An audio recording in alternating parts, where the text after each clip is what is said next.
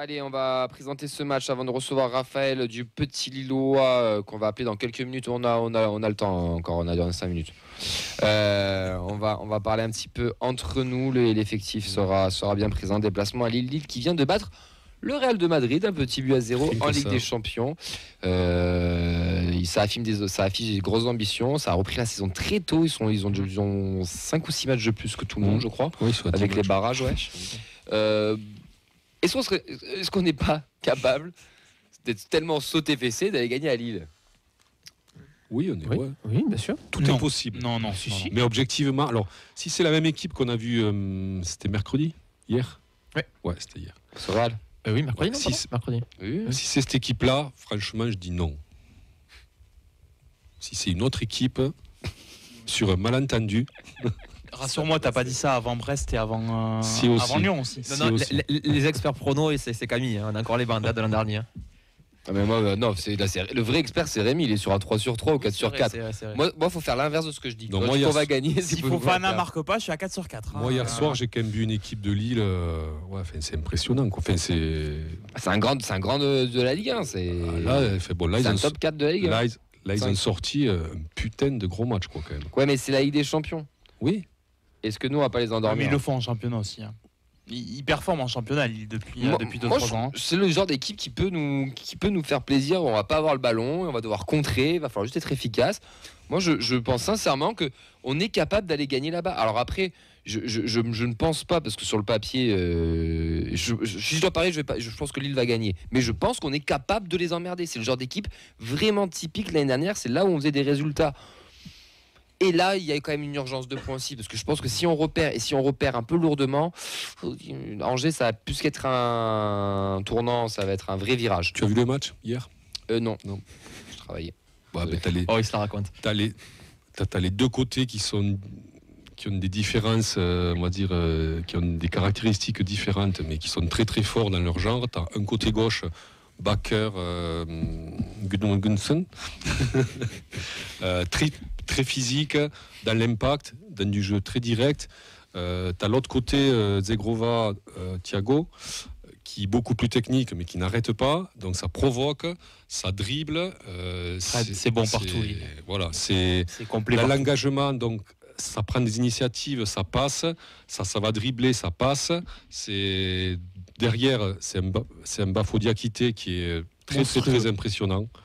Euh, c'est c'est un très, très bon gardien. C'est, Meilleur que reste. Je pense que Oui. Guillaume reste, euh, ça va être la bataille, je pense, de la prochaine euh, il a 3 ans d'avance. hein. Ans. décennie. Oui, il a de l'avance. euh, Il a Chevalier. 2 ou 3 ans d'avance. Mais c'est un très très bon gardien quoi. C'est et qui a, et qui a fait un gros gros gros gros match. Non franchement, si tu mets cette équipe là, nous on est euh, mais attention. loin. Ah ouais, on est très très loin. Mm. quoi. C'est Non. pas confiant pour ça. Si. Ouais. Si, c'est après c'est heureusement c'est la beauté du foot, c'est tu Ah, oui, non, que tu vas pour en oui. prendre 6, tu vas pas hein, ou, t'envoies Stétienne, ils ont l'habitude. Mais euh, La balle perdue. c'est gratuit. Bah, Ils en ont perdu beaucoup, hein, des balles perdues. Euh, non, je- c'est toujours, un, c'est toujours un moment de- d'euphorie. Si on prend une valise dimanche, Vincent, Samedi, putain. Je m'achète mon maillot de- samedi, je m'achète mon cher Rémi, là. Pas petit Il y a quand même une sorte d'euphorie après une, une telle performance. Je ne vais pas décrédibiliser la performance de Brest Ligue des Champions, mais c'est pas un prestige que de battre le Real de Madrid. Ouais. Donc forcément, tu es sur ton petit nuage et ça peut être compliqué de revenir. Et euh, puis encore une fois, on disait 10 journées, ça fait un moment. Il y a aussi un côté où tu peux être cramé, euh, émoussé physiquement. Bien sûr, sur le papier, ils doivent gagner. Même avec leur équipe 2, ils doivent gagner. Mais euh, au moins viser le nul repartir avec quelque chose de là-bas, c'est pas non plus euh, totalement incohérent ou impossible. Tu devrais préparer le visuel, c'est avec Lille qui bat 1-0 le Real, nous Ouais. qui battons euh, le Oui, Lille le et fameux, du coup ouais. le TEF supérieur au Real. Prépare-le, on sait jamais. Et Pau qui a fait nul en prépa contre nous, ils sont C'est ça, ce exactement. Bah, Riron, ça peut marcher que Riron. On a, on a. Raphaël normalement. Ouais, Jérôme, pardon. Raphaël du Petit Lillois, comment ça va, Raphaël? Très bien, et vous? Ça va, ça va. Euh, on a l'habitude de te recevoir, mais est-ce que tu peux représenter euh, le, le- ton média, le Petit Lillois, s'il te plaît? Oui, bien sûr. Alors, c'est un média euh, entre la, la tradition, donc tout ce qui est des articles de presse réalisés sur tous les sujets autour de l'actualité du LOSC, et puis il y a tout ce qui est compte de supporters, où on essaye de faire un lien finalement entre les supporters et les clubs. Donc, on est un peu comme lesviolets.com chez vous. Ok. Lille fait un bon début de saison. qualifié en Ligue des Champions. Euh, Avant-hier, vous battez les Real en, Ligue des Champions. Je présume que c'était très très fort. Euh.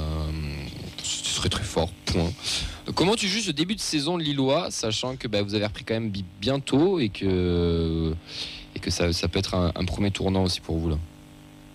Bah, le début de saison, il, il- il est pas excellent, mais il est très très bon. Euh, Le premier objectif, c'était de se qualifier pour Ligue des Champions, Ouais. tant sportivement que financièrement parlant, et, et ça a été fait avec brio, alors qu'il y avait des adversaires qui étaient euh, pas, pas aisés sur le papier. Fenerbahçe, c'était quand même un, un gros morceau, et puis finalement, on s'est rendu compte que le Slavia, c'était quelque chose aussi. Mm. Pour être allé à Prague, euh, franchement, euh, il n'y a pas que du tourisme, il y a aussi de, de sacrés footballeurs.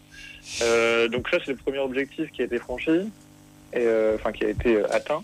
Et puis après, on a plutôt bien commencé en Ligue 1 euh, jusqu'à euh, jusqu'à cette fameuse trêve où après euh, il y a eu une sorte de décompression et puis on, a tous euh, ce match à Saint-Etienne où on est la seule équipe du monde à, battre le mais à perdre contre Saint-Etienne. Donc, donc voilà. Mais, mais dans l'ensemble, c'est un très bon début de saison. C'est quoi les ambitions du Lille? C'est d'être voilà, encore en Ligue des Champions le top 4 ou bah, allez, pourquoi pas les titiller un peu plus haut? Le, discours de Lille chaque saison, c'est euh, de faire mieux que l'année précédente. Euh, ce, qui, ce qui en vrai est peut-être pas forcément en, corrélation pardon, avec le budget du club ou, les moyens euh, donnés pour, le faire, puisqu'on doit être le 6 ou 7e budget de Ligue 1. Mais, l'ambition est de, pouvoir rester en Ligue des Champions, c'est l'objectif. Même si euh, je pense qu'une qualification en, Europe sera très bien. Quand tu dis plus haut, je suppose que tu parles du, du titre. bah, Mais, euh, Les là, ou ouais, un podium, tu vois, même sans parler de titre, mettre vice-champion ou, le- ou, ou quoi, enfin titiller le PSG, vous voyez, enfin PSG ou ceux qui seront premiers, vraiment être dans la course, on va dire, le plus longtemps possible. Bah, euh, ça, ça serait, euh, ça serait rêvé, mais il y a quand même Marseille et Monaco qui semblent, qui semblent forts. En tout cas, on, on espère pouvoir se mêler euh, à la lutte pour le podium. C'est comme l'année dernière, c'est le but. Bruno Genesio qui est arrivé euh, chez vous, vous perdez euh, Fonseca qui est parti au, Milan. Euh, bah, Bruno Genesio, qui un- moi je trouve qu'il est un bon coach français, qui est, après ça c'est mon avis. Mais vous, comment vous l'avez accueilli à Lille quand il est arrivé? Alors, c'était. Comment, comment dire? C'était pas évident parce que Paul Fonseca avait- s'était très bien intégré à Lille. Pourtant, oui, c'est quelqu'un qui, qui était étranger à cette culture euh, du Nord, mais il a, été, euh, il a adoré euh, toute la ville et, et comment étaient les gens, la chaleur du Nord, comme on peut dire. Et en fait, il s'est très rapidement attaché aux fans, et ce qui a fait qu'il y avait une relation qu'on avait peut-être perdue, euh, par exemple avec Gourvenec, où il y avait quand même un, un sacré fossé. Oui. Et donc, euh, ça a beaucoup touché son départ. Et euh, Genesio, bah, c'est un peu le choix, entre guillemets, les temps, où c'est le zéro risque, on prend quelqu'un qu'on connaît bien, et ça va le faire. Donc il y avait les, choix mitigés des gens qui... euh, euh, enfin, l'avis de la communauté était mitigé. Il y avait d'un côté les gens qui étaient déçus de voir quelqu'un qui connaissait déjà, euh, qui, avait vu qui imaginait quelqu'un qui avait échoué entre guillemets avec Lyon parce qu'il y avait quand même une sacrée équipe, il n'avait pas réussi à les rivaliser avec avec le PSG, et puis Rennes où c'était mal fini. Donc il y avait des gens très mitigés et d'autres qui étaient plutôt rassurés puisqu'en fait avec Genesio, tu avais l'impression de, de, de placer Lille euh, entre la sixième et la troisième place assurément à, à chaque chaque saison quoi. Puisque finalement c'est après ce qu'il a réussi euh, avec ses équipes dans le passé. Donc il y avait un peu de camp et puis euh, sa communication a été plutôt bonne depuis le début. Et puis les résultats ont un peu joué pour lui aussi, donc il est plutôt apprécié pour le moment. Est-ce qu'il y aura des absents pour demain? Ah bah, à Lille, c'est c'est compliqué depuis le début de, de la saison. Et encore plus après la première trêve. Il y a euh, six absents au total.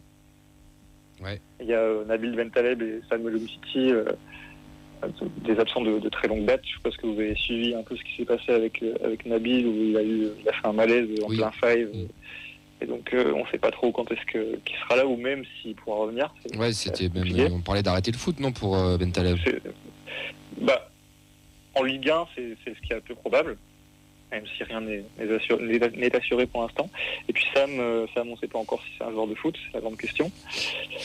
Et puis après, il y a euh, Mbappé qui s'est blessé au quadriceps pour deux à trois mois. Il y a Haraldson qui était en très bonne forme et qui s'est blessé en sélection. Euh, une recrue au milieu de terrain. Et euh, je vais en oublier un. Euh, Ismaili, arrière gauche. Donc il y a six absents, dont certains qui, euh, qui méritaient des places de titulaires. Oui, c'est vrai que ça fait, ça fait du gros nom là qui est, qui est pas là. Enfin, Je pense que ta question c'était plus par rapport au match de- contre le Real. non, par rapport à Non, ça non. demain. Non, non, par rapport à demain, les Non, absents. mais les absents euh, Bah, contre le Real, il y a- Est-ce qu'il qui a étaient titulaires et qui Parce qu'il ne seront pas. Oui, enfin, les absents en général, oui. bah, il y a bon. deux retours de- vis-à-vis du Real. De quoi? Il y a deux retours vis-à-vis du Real. Il y a André Gomez qui n'est pas qualifié pour Ligue des Champions Putain. Et Angel Gomez qui était suspendu. Ouais, ça, bonjour, lui, Angel Gomez. Euh, les points forts de Lille. Et les points faibles Euh, aussi, tiens. Fais les deux en même temps. Alors, les points faibles, c'est euh, surtout euh, mental. Où, depuis l'année dernière, on a une équipe qui a choisi ses matchs, mais qui aime bien décompresser après de grosses performances. Et voilà. Ce qui, ce qui peut être un risque après, après le Ah, match. Vas-y, continue. Raph. Vas-y, continue. ça me fait Et, plaisir. et dis. d'ailleurs, ça a été le gros, gros sujet en conférence de presse, où, euh, où le but c'était de, de ne surtout pas euh, avoir cet effet de décompression, alors qu'il a, déjà existé. À Saint-Etienne, c'était exactement ça, où les Lillois, ils avaient, peu. ils avaient adoré leur qualification avec des champions, et en fait, la trêve n'avait pas forcément servi de coupure, puisque tous les mecs étaient partis à droite à gauche pour poursuivre leur, leur petit bonhomme de chemin, et en fait, quand ils sont revenus, euh, ils étaient à plat mentalement. Donc ça, c'est les gros risques. Et puis la force, c'est que c'est qu'on a euh, beaucoup de créativité, je trouve, dans notre effectif. Quand je parle bah, des deux Gomez, par exemple, euh, c'est quand même, ça rend un milieu de terrain très technique. Ouais. Et on arrive euh, à se créer beaucoup de situations dans un match. Mm. Euh, on arrive souvent à ne pas les mettre au fond, sauf quand David est, est en feu ou que Zegrova arrive à avoir un peu de magie. Mais on arrive quand même à être très créatif et, et à se créer beaucoup de situations. Donc, euh, sachant que vous, vous aimez marquer des buts contre votre camp ou, ou pr- prendre des buts quand l'équipe adverse euh, ne tire pas une seule fois. Là, je te félicite pas pour cette phrase. Aussi.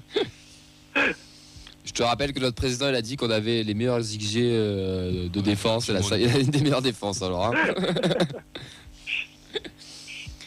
bon, ça va faire un, match intéressant en tout cas. Moi j'espère que vous allez bien vous relâcher mentalement. on, va passer. On va passer au prono. euh, on va faire le plateau. On terminera par toi, Raphaël. On va commencer par Nadia en cabine. Nadia, qu'est-ce que tu nous vois pour demain Euh, je l'avais pas encore réfléchi. Euh, Désolé de te réveiller, Nadia. on va dire, euh, on va dire 1-1. Allez, buteur. Comme l'année dernière. Buteur euh, Donoum. Ah ouais, grosse cote. Rémi pour la 5 à la suite. 3-1 pour Lille. But de. But de Beau pour nous. Fred. 3-0 pour Lille. Oh, allez, allez, deux là. Et tonton flingueur. Quoi. Ne demande pas les buteurs, du coup on s'en fout. Euh, Vincent. Ben, un partout, but de Jean Ron. Waouh. Alors euh, les gars. Mon euh, PEL dessus. Elliot. Et beau. 1-0 Siro. Euh, Raphaël. 2-1 pour Lille.